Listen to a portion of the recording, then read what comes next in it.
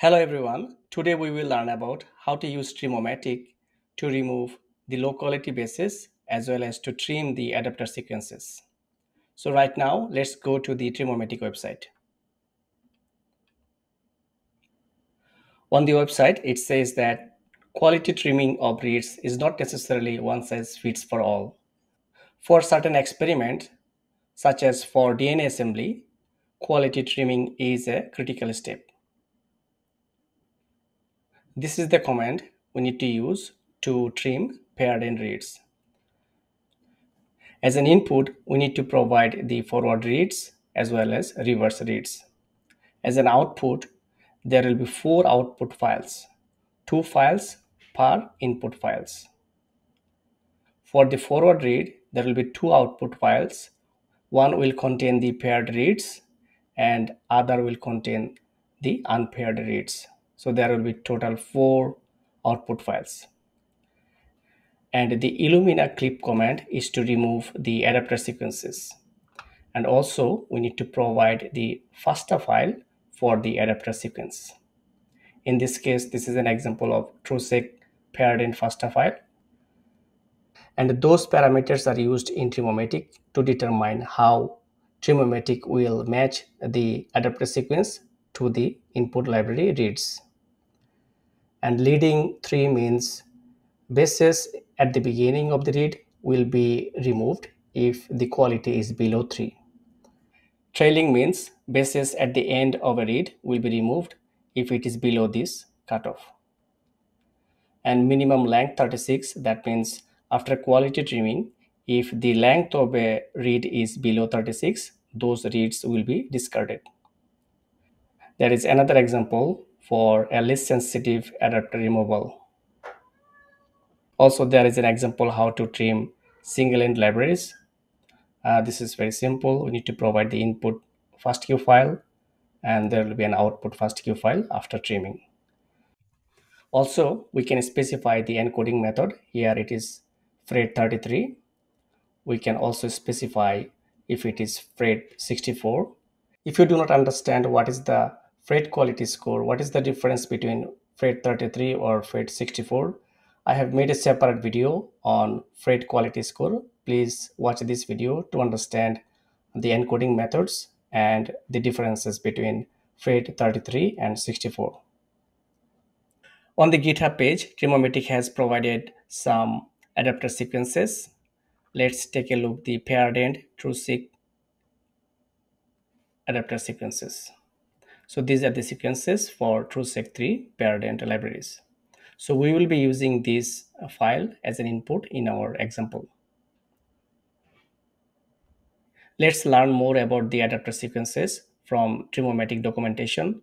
It is saying that those sequences are copyrighted by Illumina and TruSeq3 as used by HiSeq and MiSeq. Uh, we will show some examples of MiSeq today so we will be using TruSeq3 uh, paired end sequences. And also it is important to note that those sequences have not been extensively tested. And depending on the specific issues which may occur in the library preparation, other sequences may work better for a given dataset. So I will highly recommend you to contact to the sequencing lab to know about the adapter sequences. If you use different adapters, you can make your custom FASTA file to use in Trimmomatic. Now let's install Trimmomatic into our working environment. We will copy this command. Yes. Trimmomatic has been installed successfully. For today's tutorial, I have downloaded one Illumina's MiSeq library from SRA database. And today we will be using default command of Trimmomatic. This is a paired end library. So we have added PE and added the forward and reverse FASTQ files. There will be four output FASTQ files and I have added the word trimmed in the output files so that I can easily identify the files that have been trimmed. Also for adapter removal, we have used the default command and we will be using TruSeq3 PE paired adapter sequences. For leading and trailing, uh, Q score is 3.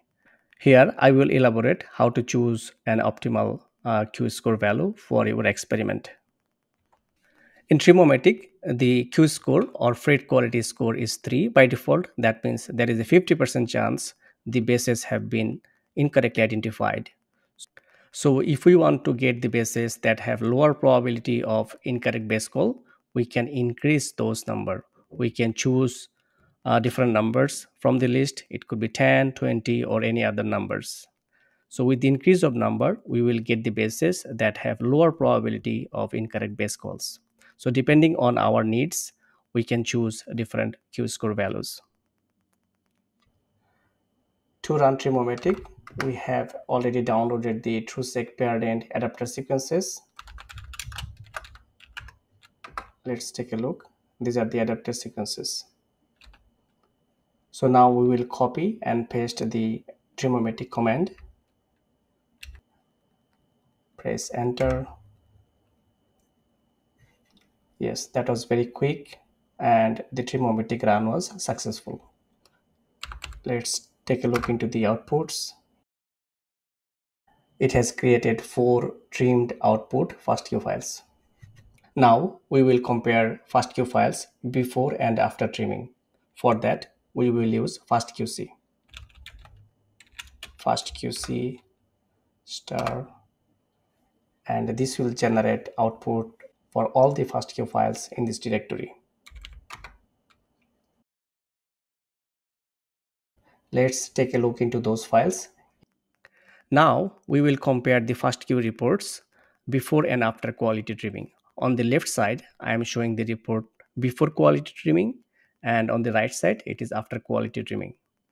We can see some differences in the basic statistics. For example, total uh, sequences, the number of total sequences have been reduced after trimming. That means some reads have been discarded after trimming. Also, the sequence length has been changed in the raw file, it is 251 base pairs for all the reads. And in the trimmed file, the reads have minimum of 99 and maximum of 251 base pairs of length. That means after quality trimming, the low quality bases have been removed from the reads and therefore we are getting the reads of variable length. Between the raw and trimmed FastQ files, we may have find other differences. So I will highly recommend you to look into these reports to compare these two libraries, whether the trimming has made any other differences or not. To summarize, in this video, we have learned how to install Trimmomatic and how to use its default command to analyze or to trim the low quality bases as well as adapters.